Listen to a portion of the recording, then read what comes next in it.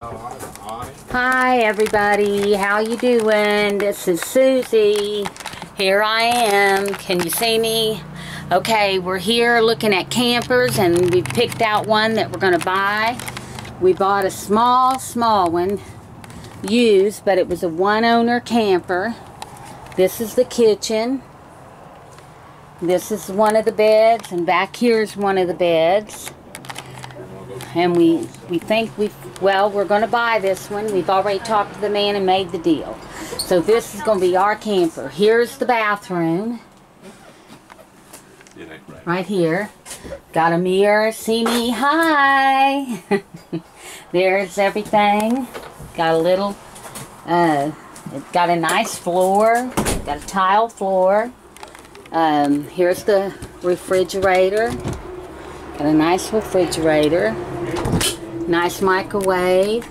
It's small, but that's all we need is small. Me and him, and maybe take our two grandsons every now and then. Not forever, but every now and then.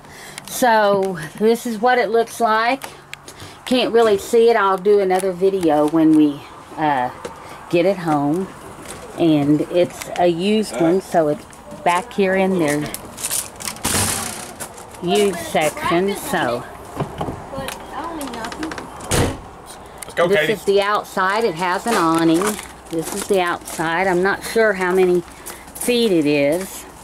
Um, but yeah, this is the outside. It's um, called a Mini Lite. And there it is. Right there. So, okay. If you haven't already, hit that friend button down below.